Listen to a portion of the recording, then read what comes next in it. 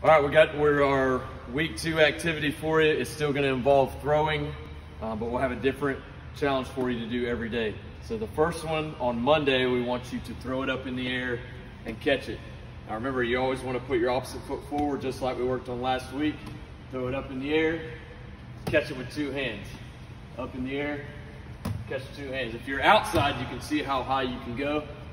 Throw it all the way up in two hands, but if you're inside, just keep it straight up, not too high. On Tuesday, find a wall at your house. It can be inside or outside, and we want to practice stepping forward, throwing, bouncing off the wall, and catching with two hands. See how many you can do in a row. Just like that. On Wednesday, if you have a ball that bounces, you can practice bouncing it on the ground and catching it as it comes up.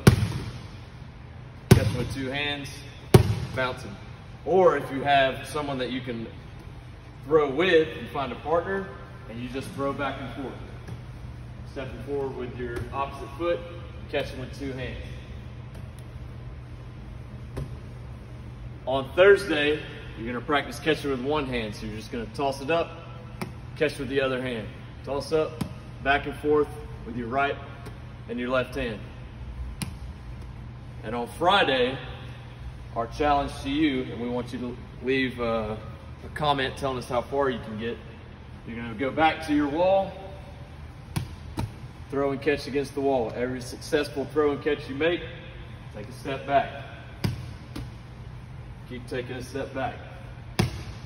So do that on Friday. Let us know in the comments how far you were able to successfully throw and catch against the wall. Have a great week.